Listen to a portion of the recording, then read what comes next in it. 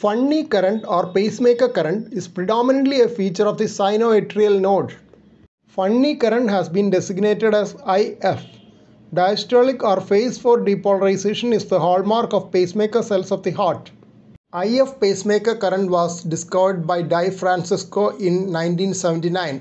It is a mixed sodium potassium current which is inward and gets activated on hyperpolarization at voltages of minus 40 to minus 45 millivolts. Funny current initially opposes the repolarization and then stops it. After that, the funny current is responsible for the spontaneous diastolic depolarization, which ultimately leads to the automaticity of the sinus node. Since the funny current controls the rate of the sinus node activity, it determines the heart rate. IF increases on perfusion with adrenaline and thereby the slope of diastolic depolarization and the heart rate.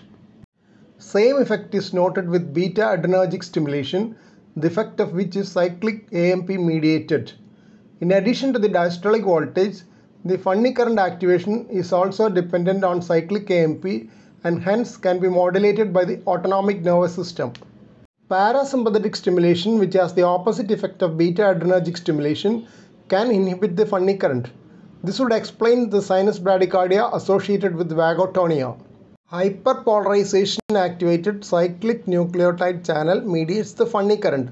Four types of HCN channels, HCN 1 to 4, are known at present. HCN4 mutations have been implicated in sinus node dysfunction. Word about funny current inhibitors.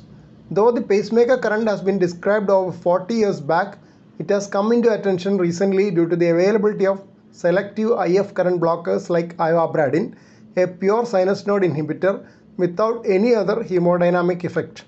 Zatebradine and cilobradine are two analogues. A similar IH current has been described in different types of neurons. Funny current and biological pacemaker. IF current has been targeted in the development of a biological pacemaker. In experimental studies, an adenoviral reconstruct including HCN2 was injected under fluoroscopic control into canine left bundle branch.